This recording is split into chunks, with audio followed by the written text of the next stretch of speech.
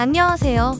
오늘도 제품 구매에 고민 중이신 여러분들을 위한 영상으로 쿠팡 랭킹 기준으로 1위부터 10위까지 추천 상품을 간단하게 정리해 보았습니다.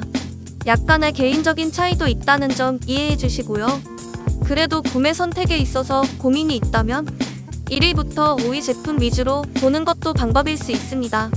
상품 가격의 기준은 업로드 날짜에 따라 가격 변동은 있을 수 있습니다. 구매 정보에 대한 링크는 댓글에 정리해 두었습니다. 구매 전에 구매평 꼭 한번 보시고 구매 선택하세요. 영상이 도움이 되셨다면 구독과 좋아요 감사합니다.